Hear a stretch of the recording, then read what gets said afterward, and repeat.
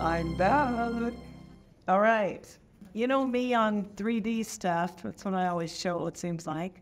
This time I had fun with this Tricks and Treats dies. Comes with all, oops, all these little pieces. And this is what you cut your box out. So I have a couple little tricks on the boxes. And just to, and I'll show you some fun different things we did with the box. First of all, the Halloween one you see right there in front. So I made this. On the other side, it says thanks. It was just really a fun, easy thing to do. Um, I wanted to tell you a couple things about these boxes. First of all, this is what they look like. They're just boxes. But I found out that if you make it a little skinnier, if you don't need it fat, you can get um, two sets of boxes out of one piece of cardstock. So let me show you what I did. And so this was, this is a, well, it has a candy in it. Oh. Um, this is the skinnier one. I cut my paper in half, long ways. Okay, my cardstock. And all, all you do is you set your die like this. And then you just match this side up.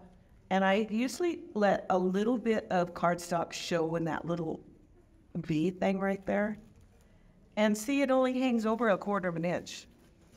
And you cut that out, and it looks like this.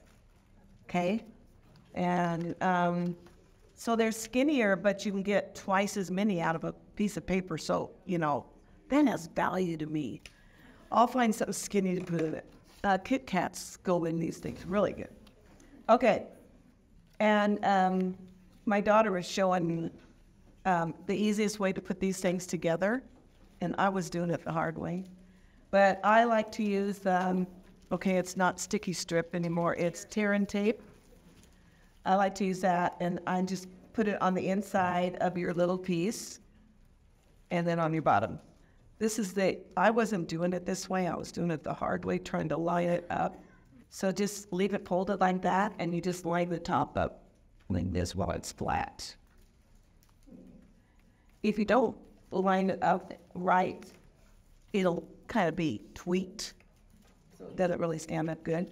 And then just flip it, fold the other side off. Okay, so then you got your box.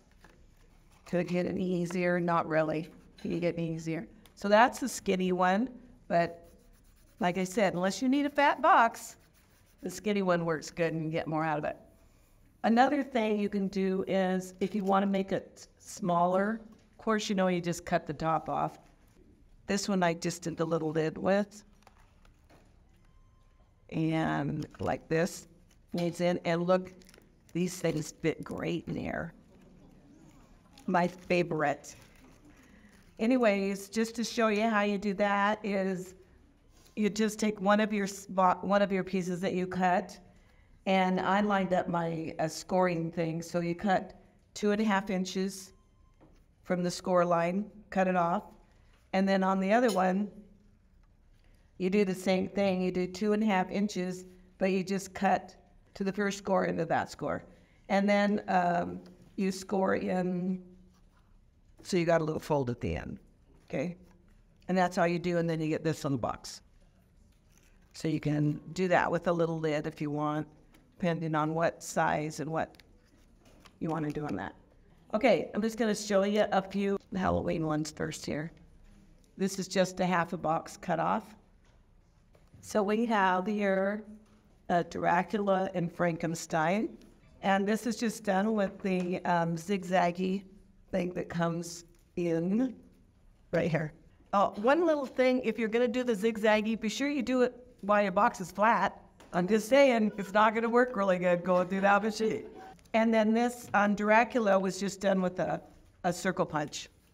So then we needed Frankenstein and his bride. So this is, you can take a box and put it inside a box. Oh, we got fingers. So, okay. So you just squeeze it a little bit to get it in there. See? And you can make his hair as tall as you want. And here's his bride. So, that cute. You can put a giant candy bar in one of these. Now, the little bear, our little polar bear guy, he's really fun. and really easy to do. And I'll tell you everything that fits in these size boxes because I went to the store with a box. went down every aisle. Okay, so Rice Krispie treats, they work really good inside there. Now, this one we thought was kind of fun if you wanted to do a little gift for your downline or something. Just a few stamping supplies in there, some glue, and of course you got to put a candy cane in because it's Christmassy. So I looked. uh, I know they make white snowballs, but all I could find was pink. so the pink little snow, uh, the uh, the little snowballs, fit in there, and I know they're going to come out with white ones before Christmas. So, but we have a pink polar bear right here at the moment. Okay, I love this one because this is our box, and you just pinch it at the top, you know, just go like this, pinch it at the top like that, put a little top on it, and it's like a little gingerbread house. See? Isn't that cute? I mean that. I mean that. Um, I would like that if someone gave that to me with a chocolate in it. Okay, isn't that pretty? And of course, you have to have blue blue kisses in it. There's one with the ornament. Here's one with the nativity. Now, I used that, the paper that had the little buildings on it, on um, for one of them, but the other side didn't need buildings on it, so I used a piece of the other stuff, the rest of it, and I just embossed that on there for that one. And this is vellum, the little um, nativities vellum on that one. Okay, and this has those Swiss rolls in it. Yum. Okay, and then here's one. Now, this little thing barely fits on the box. Um, so you need to make sure you can glue it across the top here, and then I glued it right there because, see, it's like, it's like kind of hanging there, but it's kind of cool. And then you can add your animals, and I put my extra animals on the back. They wouldn't fit on the front. This one has Kit Kats. I told you, Kit Kats fit in this one. Now, let me show you the snowman. Here's our snowman. This is a pumpkin, upside down pumpkin there for his little hat. And this is the, uh, you can use your, the little dots we have, or this is the enamel. Put the enamel on it if you want. Now, this next thing I have to show you is so freaking cute, and my daughter came up with this. Okay, so we have Santa.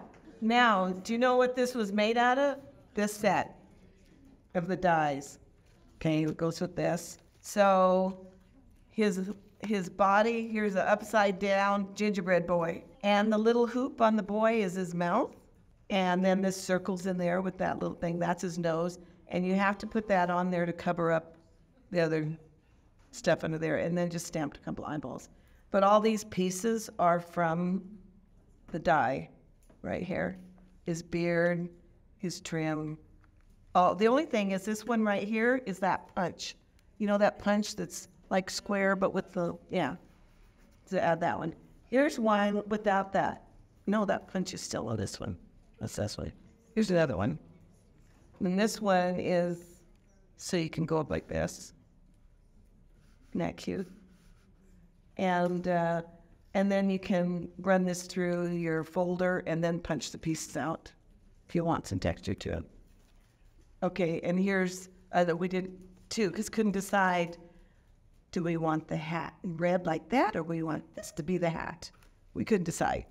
Anyways, cute, huh? So it, they're really fun and easy to do. Anything you can put on a card, you can put on a box. Okay, you guys? It's really easy. Um, and then you can put something in it and give it as a little gift. All right, thanks.